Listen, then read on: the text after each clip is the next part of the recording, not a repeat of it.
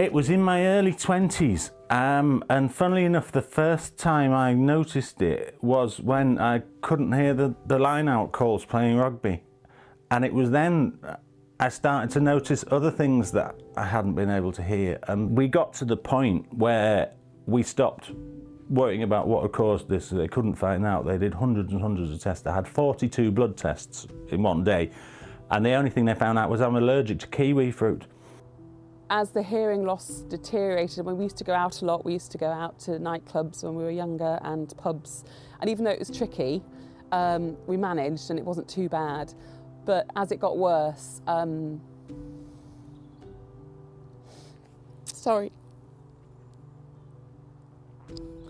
Yeah, we stopped going out. He just would rather stay at home and, and read and be with the children, which is great, obviously, for the kids but you know, it had a big impact on, on us and our ability to socialise with friends and so on. It was very difficult, particularly with the kids, because when children are small, they tend to have high-pitched voices, and the, and the high-frequency losses were the, the ones that were worst affected. So I literally couldn't hear what they were saying to me. I know Sadie must have found it really frustrating as well, and I know the kids did. The kids would be trying to speak to me, and I couldn't hear them. I couldn't understand what they were saying. When we were in the car beforehand, he would basically, he would be, he wouldn't really be linked really. He would kind of, if we were going to talk to him, we'd have to say it to mum, who would then have to talk to him separately because she was sat next to him. But if we were in the car and we were sat behind him and it was just him and us, we never used to be able to talk. We'd go, we'd drive down to Cornwall or something like that, and it was almost like I was in a cocoon. So I've got five and a half hours driving without any distractions, without anybody speaking to me. It's quite boring, to be honest with you. So after the implant, the first time I think I really noticed it, a massive difference was when the, one of the kids in the car said something to me, asked me a question, and Tom answered it before I answered it. And I was sort of, gosh, he's answered that question, he heard that question. Before you know it, it's, you, you forget what your life, how your life used to be. I think, you know, he, he, he sometimes has to pinch himself and remember how when you're in situations and it's like, well, I couldn't have done this before my implant, I couldn't have heard this, I couldn't have sat in, in, in this environment and be able to interact with these people. And it's been absolutely life-changing, to be honest with you. Um, it's just 100% better. Absolutely.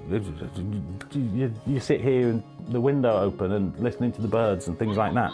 And that was something that I'd just totally forgotten about and the, the, unexpected noises that you find and you went, oh, when did lifts start to make noises? When you press the button and they go ping like that, and and they tell you what floor you're on, and it's it's like it's it's almost like being a child again, like this voyage of discovery. All these things that I'd forgotten, or actually didn't exist 20 odd years ago. And it's exciting.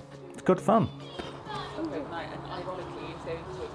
When I take this off at night, I can't hear anything now, but I really don't know it's there apart from the fact that I can hear. I was asked to trial the Rondo 2 in the middle of this year. I'd been watching, keeping up with the tech, talking to my audiologist. I knew it was coming and it was brilliant being asked to trial it and they switched it over and it was really easy. They just, they've got the existing map on the systems and they just pinged it in, popped it on.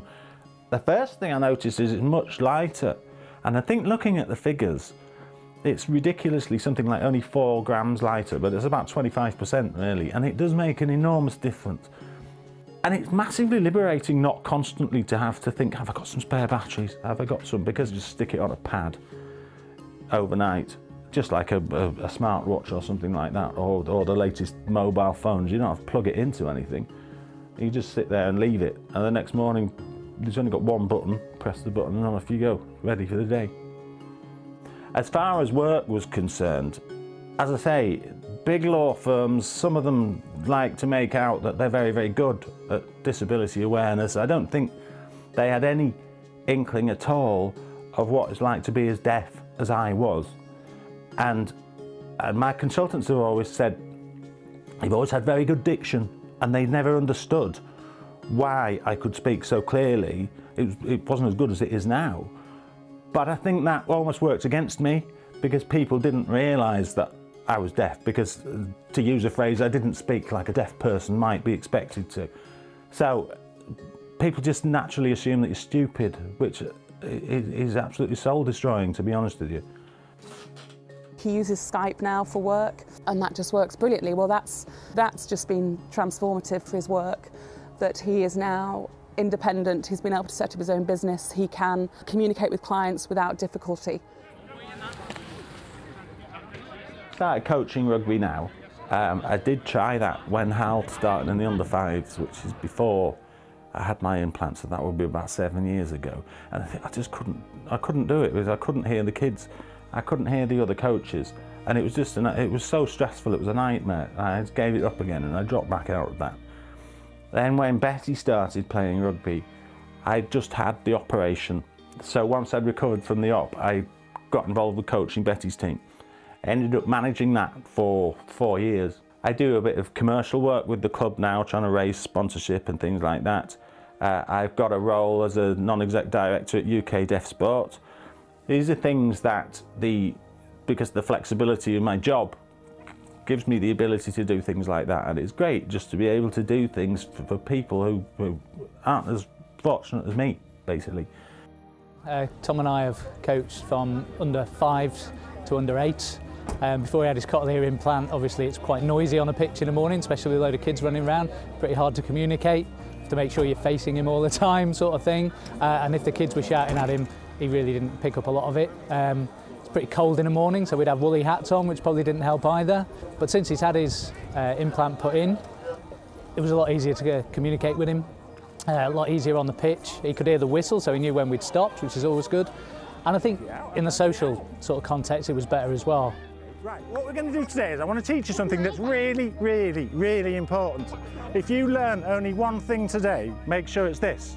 So the idea is you pass the ball as quick as you can. Yeah, look, I mean, I just think, you know, since he's had the implant, clearly, um, you know, his already sociable uh, nature has, has, has even kind of probably gone gone further. So his real true nature is to the fore, and you know he's he's always the life and soul of any kind of party, garden parties when there's obviously external noise, etc., etc. But he's very much to the to the heart of everything that we're doing, which is great.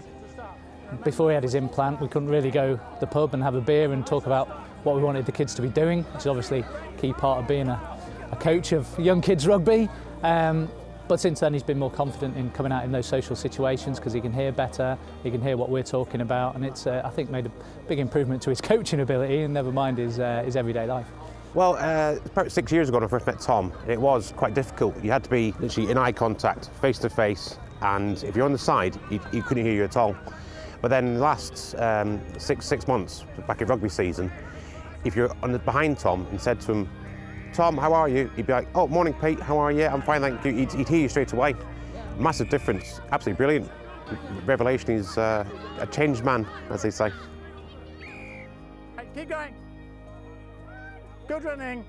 My own view is that I'm not an enormous fan of invisible technology because I think it helps that people do know that I'm deaf. If people have got no visual clue that you have a cochlear implant, then uh, I'm not really in favour of that. So I like it to be there and I like it to be visible. And I know people like to really jazz them up and put the bright colours on it. And I think that's brilliant to have the confidence to do that. I haven't, quite honestly.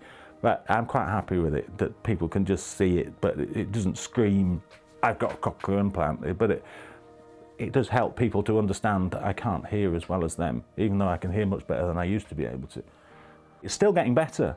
That's the thing, you see. Even four years on, it's improving all the time. It's a massive, massive advantage when you've got three noisy kids as well. You just turn it off. I wouldn't. People are talking about these implantable devices that are going to be on all the time. I know, well, thank you. No, 24 hours a day would just be too much for me. It's a big step. It's been hugely positive for me. It's difficult for me to say go for it because I don't know anybody else's situation, but I certainly explore it, look into it, find out what the options are. And if your journey is anything as exciting as mine has been, then it'll definitely be worth it.